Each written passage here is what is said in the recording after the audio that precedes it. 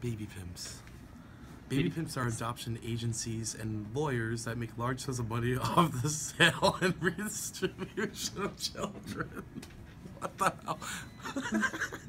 Baby pimps coerce women in crisis pregnancies to relinquish their children for adoption.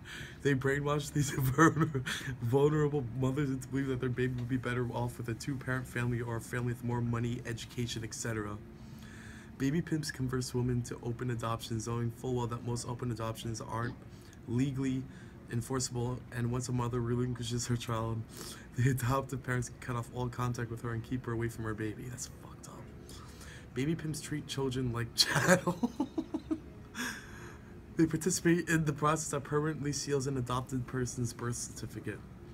Baby pimps do not inform fathers that they are parents or do whatever they can to make sure that a father has no right to raise his relinquished child. Father's name are left off of documents. His whereabouts or name are listed as unknown in order for baby pimps to easily sell their product, aka child.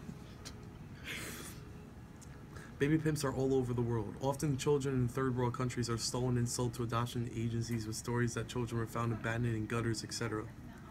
The adoption agencies that receive these babies and launder them for sale in the United States and other countries are baby pimps.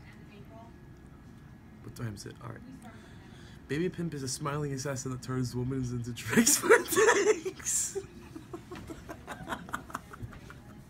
what the hell? A baby pimp is a nice guy, not green, that has a way of convincing women with words, not his fists or knuckle busters.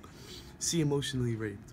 Baby Pimp is an entrepreneur that knows how to treat his commodities, victims, example, woman, good, but at the same time oppresses their very being by using drugs and money as a foundation. See the Prophet Muhammad.